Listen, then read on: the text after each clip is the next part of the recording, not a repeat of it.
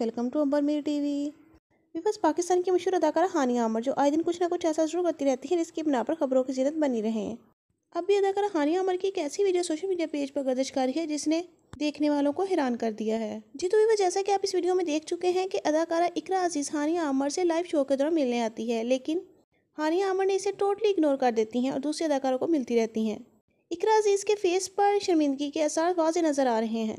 ज़ाहिर सी बात है, जब एक बंदा इतनी चाहत से उसे मिलने आता है और दूसरा बंदा उसे इग्नोर कर देता है तो उसके ऊपर क्या बीतती है, वही वही शर्मिंदगी के असरात इकरा अज़ीज़ के फेस पर भी नज़र आ रहे हैं।